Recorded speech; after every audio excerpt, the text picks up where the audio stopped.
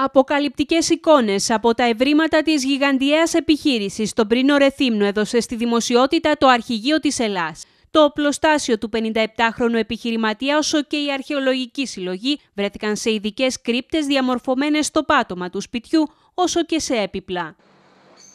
Για περισσότερες από 24 ώρες, αστυνομικοί της ασφάλειας και του ΤΑΕ Ρεθύμνου έκαναν φύλλο και φτερό το σπίτι του 57χρονου όπου έκαναν έφοδο το μεσημέρι της Παρασκευής. Ούτε λίγο ούτε πολύ εντοπίστηκαν και κατασχέθηκαν 38 όπλα ανάμεσά τους και ένα υποπολιβόλο.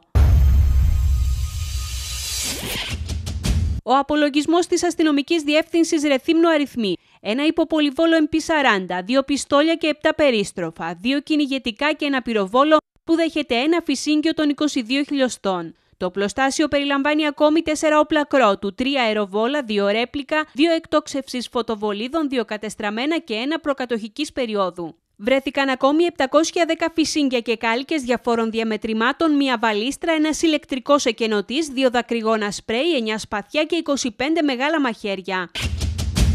Εντύπωση προκαλεί το γεγονός ότι πολλά από τα εύχριστα πιστόλια και περίστροφα βρέθηκαν σε κρύπτες γεμάτα σφαίρες και έτοιμα για χρήση. Το ενδιαφέρον των διοκτικών αρχών του Ρεθύμνου και των αρχαιολόγων στρέφεται τώρα στη συλλογή του 57χρονου ιδιοκτήτη δισκογραφικής εταιρείας, η οποία καλύπτει από την νεολιθική εποχή μέχρι την περίοδο της τουρκοκρατίας. Η αξία των ευρημάτων δεν έχει ακόμη υπολογιστεί. Ανάμεσα στα 766 αντικείμενα που εντοπίστηκαν σε προθήκες είτε σε κουτιά βρίσκονται χάλκινα εγχειρίδια, σιδερένια ξυφίδια και εχμές, κοσμήματα, αγαλματίδια, πύληνα, θράψματα από αμφορείς και αγκία. Στα χέρια της αστυνομίας βρίσκονται ακόμη πέντε ηλεκτρονικοί υπολογιστές και δύο εξωτερικοί δίσκοι που αναμένεται να αποκαλύψουν τις πιθανές διασυνδέσεις και συναλλαγές του 57χρονου, ο οποίος επικαλείται ότι έχει άδεια κατοχής για κάποια από τα αντικείμενα που βρέθηκαν στο πατρικό του σπίτι.